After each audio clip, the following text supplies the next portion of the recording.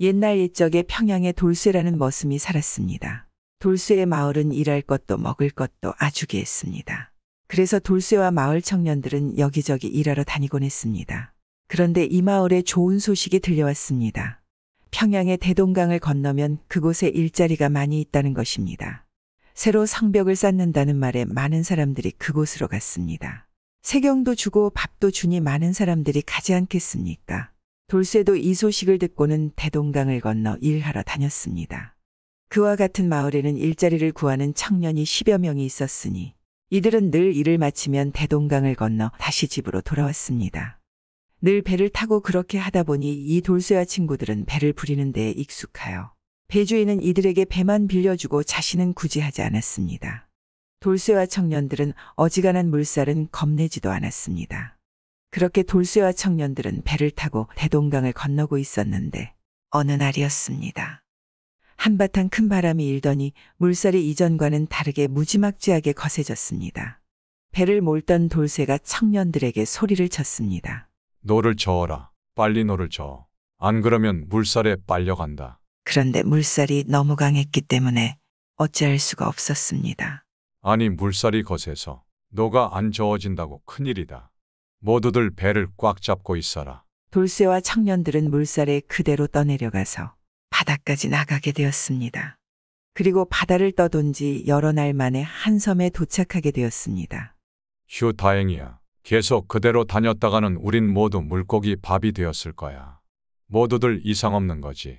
물에 빠진 사람은 없지. 그렇게 돌쇠는 청년들을 살피고 한 명 한 명 보았습니다. 다행히도 한 명도 물에 빠져 사라진 사람이 없었습니다. 잘 모르는 섬이었지만 섬에 도착하여 목숨을 건진 것만으로도 돌쇠와 청년들은 다행이라고 생각했습니다. 그렇게 돌쇠와 청년들은 힘을 모아서 배를 밀어서 배를 땅 위에 잘 정박해 두고 섬을 살펴보기 시작했습니다. 어딘지 모를 섬을 돌아다녀 보았지만 인적은 어디에도 없었습니다. 한참을 돌아다녀도 별 소득이 없자 돌쇠가 말했습니다. 일단 우린 날이 저물고 있으니까 저기 굴이라도 파서 굴 속에서 하루를 보내자. 조그만 참고 기다리면 반드시 우리를 찾는 사람들이 올 것이야. 그래서 청년들은 합심하여 굴을 파고 굴 속에서 함께 하룻밤을 보내게 되었습니다. 그 안에서 돌쇠의 가장 친한 형이자 이곳에서 제일 나이가 든 칠보기가 말했습니다. 우리 죽더라도 함께 죽고 살아도 함께 살아서 나가는 거야. 알겠지? 이제 믿을 것은 우리들 서로밖에 없어. 우리가 어떻게 될지 모르겠지만 우리는 모두 함께 행동하고 한 사람이라도 이를 꼭 따라야 할 거야. 그래야 집에 있는 부모님들을 다시 만날 수 있을 거야. 절대로 우리는 살아 돌아갈 때까지 함께 한다. 모두들 알겠지? 그래, 그러자. 그렇게 돌쇠와 청년들은 서로 굳게 맹세를 하였습니다. 그리고 이 섬에서 생활을 한 지 며칠이 지났습니다. 그런데 어느 날, 섬 앞으로 아주 커다란 배가 지나갔습니다. 그러자 돌쇠가 청년들을 불러 모았습니다. 아주 큰 배야. 큰 배라면 바다를 건너 집으로 돌아갈 수 있어. 모두들 옷을 벗어서 흔들어라. 배에 탄 사람들이 잘 볼 수 있게 말이야. 청년들은 옷을 벗어서 흔들어 배를 불러댔습니다. 다행히 그런 청년들을 발견한 큰 배는 섬으로 다가왔습니다. 그런데 배에 있는 사람들이 쓰는 말이 달랐습니다. 돌쇠와 청년들은 당황했지만 이내 글씨로 써서 서로 말이 통할 수 있었습니다. 보아하니 이 뱃사람들도 중국 문자는 알고 있는 듯 했습니다. 뱃사람들은 청년들에게 말했습니다. 너희들이 살고 있던 나라는 우리는 어찌 가는지도 모르고 갈 이유도 없구나. 우리와 함께 가고자 한다면 우리나라로 같이 가야 할 것인데 어쩌겠느냐. 함께 가겠느냐. 그 사람들의 제안에 돌쇠와 청년들은 함께 가기로 결정을 하였습니다. 그 섬에 계속 그렇게 있다가는 굶어 죽을 것이고, 그럴 바에야 다른 나라에라도 가서 후일을 도모하는 편이 낫다고 생각했기 때문입니다. 그렇게 큰 배의 사람들과 함께 그들의 나라로 가니 그곳은 아주 큰 섬이었습니다. 사람들도 많이 살지는 않은 듯하였습니다. 옷을 입은 모양새는 중국 사람들 같았고 풍속이 아주 예의가 있고 잘 정돈되어 있었습니다. 섬의 사람들은 돌쇠와 청년들을 반겨주었고 먹을 것들을 풍족하게 주며 후하게 대접하였습니다. 이야기를 나눠보니 섬의 이름은 낙도라고 하였는데 이 섬에는 딱히 임금이나 사또 같은 윗사람이 없고 세금을 내는 일도 없으며 사람들이 함께 열심히 일하며 사는 섬이라고 하였습니다. 그리고 이 섬의 사람들은 섬에 산 지가 아주 오래되었으며 워낙 사람 수가 많지 않은데 남자는 적고 여인은 많아서 혼인하기도 쉬운 일이라 하였습니다. 그러면서 돌쇠와 청년 중에서 가장 나이가 많은 칠복이에게 뱃사람 이 자신의 딸을 보여주며 혼인을 하는 게 어떻겠냐 물어보았습니다. 그 딸은 아주 아름다웠으니 칠복이는 흔쾌히 그러겠다고 하였습니다. 그렇게 돌쇠와 청년들은 이 섬에서 편안한 하루하루를 보내다가 그러던 어느 날 돌쇠가 자신의 식사를 챙겨주는 한 여인에게 물었습니다. 이 땅은 어느 나라로 연결되어 있습니까? 혹시 근처에 나라가 있습니까? 이 섬은 연결되어 있는 나라는 없습니다. 다만 이 섬의 삶과 면화가 나질 않아서 우리는 매년 배를 가지고 중국에 가서 그것들을 사온답니다. 그러자 돌쇠가 기뻐하며 말했습니다. 우리나라 조선은 매년 중국에 사신을 보낸답니다. 그러면 우리가 중국에 가서 조선의 사신단과 만날 수만 있다면 우리가 그리운 고향 땅으로 돌아갈 수 있겠습니다. 부디 여기 사람들이 중국에 갈 때 우리도 함께 가도록 허락해 주십시오. 돌쇠의 말에 여인은 밖에 사람들에게 말해보겠다고 하고 밖으로 나가더니 잠시 후에 돌아와서는 일주일 뒤에 떠나면 되겠다고 말하였습니다. 그리하여 돌쇠와 청년들은 드디어 고향으로 돌아갈 수 있을 것이라 생각하며 몹시 기뻐하지 않겠습니까? 드디어 보고픈 우리 가족들을 다시 만날 수 있게 되었구나. 일단 중국에 가는 것이니 아직 기뻐하긴 일러. 중국에 넘어가서 다시 조선 사 신단을 기다려야 해.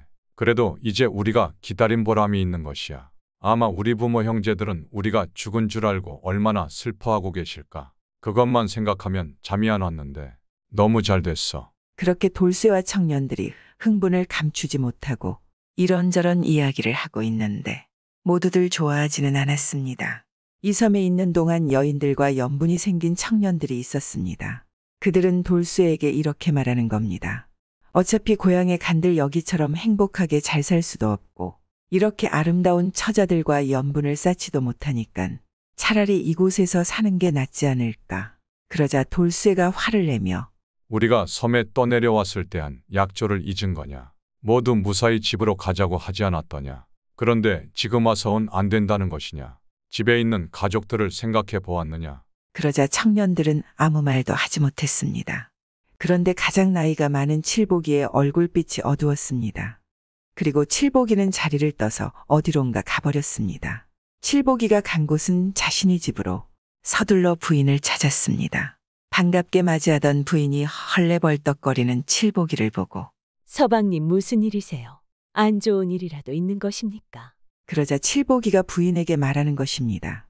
부인, 우리 일주일 후에 중국 가는 배를 타고 조선에 갈 것입니다. 그곳이 우리 부모와 형제들이 있는 고향이지요. 당신도 당연히 나와 함께 갈 것이지요. 그러자 부인이 잠시 머뭇거리다 칠복이를 보며 저야 당연히 서방님을 따라 가고 싶지만 그렇게는 안 될 일입니다. 칠복이가 의아해하며 말했습니다. 왜 안 된다는 것이요? 제가 당신의 마음에 들지 않는 게요. 아니면 우리 고향에 가면 고생할 것 같아서 그러시오. 그런 것이 아닙니다. 서방님은 재난군인데 제가 마음에 안 들 이유가 없지 않겠습니까? 그리고 서방님과 함께라면 어떤 험한 일도 즐겁게 할 수 있습니다. 그런데 이 섬에는 한 가지 규율이 있습니다. 무슨 규율 말이오? 자세히 말해주구려. 이 섬 여자들은 혼인을 하거나 난 건 이 섬을 떠나서는 안 되는 것입니다. 알다시피 이 섬에는 처자가 많습니다. 그래서 혼기를 놓치고 혼자 늙어가는 난악들도 많지요. 그런데 이 섬을 떠나지 않는 이유는 그렇게 혼사를 치르려고 섬 밖으로 떠난다면 이 섬에는 더 이상 사람들이 살지 않을 것입니다. 그래서 어쩔 수 없이 이 섬의 여자들은 절대 섬 밖으로 떠날 수 없습니다. 그러자 칠복이가 너무 놀라지 않겠습니까? 그리고 부인을 보며 그런 법규가 있었군요. 나도 당신과 함께 이곳에 있고는 싶지만 내가 애들한테 한 말이 있어서 고향에 갈 때까지 모두 한 몸이 되자고 했는데 내가 약조를 어기면 대장부가 할 일은 아니지 않겠소. 서방님 저는 신경 쓰지 마세요. 대장부가 아녀자 때문에 이곳에 사는 것은 저도 좋지 않습니다. 그리고 빨리 고향에 가서 부모님께 살아있다고 알려야 하지 않을까요? 지금 가족들은 슬픔에 잠겨 아무것도 하지 않을 것입니다. 칠복이는 더 이상 말을 못하고 청년들이 있는 곳으로 갔습니다. 돌쇠는 널기 나간 칠복이를 보았습니다. 돌쇠가 칠복이에게 연유를 물었습니다. 형님 무슨 일이 있는 것입니까? 왜 표정이 안 좋습니까? 고향에 가는데 기쁘지 않겠습니까? 그러자 칠복이가 말했습니다. 나는 여기서 혼인을 하지 않았나. 내 부인은 어쩐단 말이야. 그렇다고 고향에 있는 부모님을 찾아가지 않을 수도 없고, 내 부인은 이 섬을 떠나지 않을 것이니, 그렇다고 나만 남아있자니, 내가 아우들에게 한 약조가 있는데, 사내로서 한입 갖다 두말할 수 없지 않겠냐? 그리고 칠복이는 아내가 이 섬을 떠날 수 없다는 이야기를 상세하게 설명했습니다. 그 후 칠복이가 떠날 일주일 동안 칠복이 부인은 성심성의껏 돌봐주었으며 배가 떠날 때에는 음식까지 잘 장만하여 주었습니다. 그리고 드디어 떠나는 날이 왔습니다. 칠복이를 배웅한 부인은 칠복이를 보고 저는 오늘 당신이 보는 앞에서 사라져서 제가 결탄코 다른 남자를 마음에 품지 않을 것을 증명하겠습니다. 부디 서방님 가족들과 만수무강하세요. 그리도 다른 여인을 찾아 꼭 혼인하세요. 부인은 그렇게 말을 남기고 갑자기 바다에 몸을 던졌습니다. 그러니 배에 탄 청년들과 칠복이는 몹시 놀랐으며 칠복이는 이내 눈물을 펑펑 쏟았습니다. 그런 일이 있고 나서 돌쇠와 청년들은 중국으로 갔다가 다행히 얼마 후에 조선에서 건너온 사신단을 만날 수 있었습니다. 그래서 그들과 함께 고향 가는 길에 올랐습니다. 헌데 사랑하는 부인을 잃은 칠복이는 슬픔과 부인에 대한 그리움에 고향 가는 길에 시름시름 앓다가 압록강을 건널 무렵에 결국 가족도 만나보지 못하고 세상을 떠났습니다. 돌쇠를 비롯한 나머지 청년들은 그런 칠복이와 그의 부인의 넋을 기리며 기도해 주었고 그들이 하늘에서 다시 만나 행복하기를 간절히 빌어주었습니다. 그리고 얼마 후에 돌쇠와 청년들은 모두 고향에 잘 돌아가서 그리웠던 부모, 형제들을 다시 만날 수 있었다고 합니다. 그런데 섬에가 있어서인지 돌쇠와 청년들은 아무 병 없이 오래오래 살았습니다. 이번 이야기는 남편을 사랑해서 자신의 모든 것을 희생한 아내와 그것을 잊지 못한 남편의 이야기이지 않겠습니까? 요즘 우리 부부들도 이 부부처럼 상대방에게 헌신한다면 싸울 일이 없지 않겠습니까? 구독은 공짜입니다.